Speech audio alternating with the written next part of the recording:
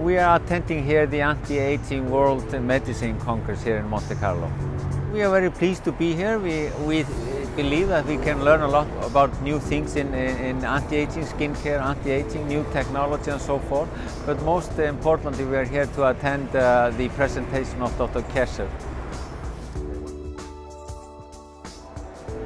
This conference here in Monaco is a really a unique one. It's the Anti-Aging World Congress, which takes place once a year the beginning of April. It's, dermatologists attending, surgeons attending, as well as some uh, aestheticians and anti-aging doctors attending the conference. Uh, Dr. Kerscher is presenting her, her newest results on anti-aging, where she was actually using BIOEFFECT EGF serum. So we are very excited to see her results.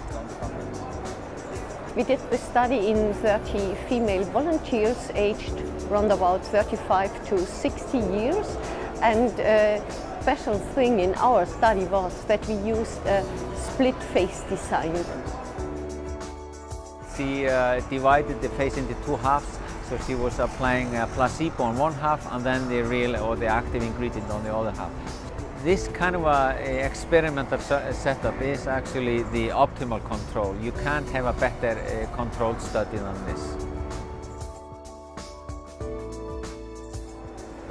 We were really impressed about the results of this study because we can see clear effects even with the naked eye and that's uh, amazing because usually we are used to see the effects only when using some biophysical measurements. We got an increase in skin thickness and skin density and this may correlate to an increased synthesis of collagen and elastin.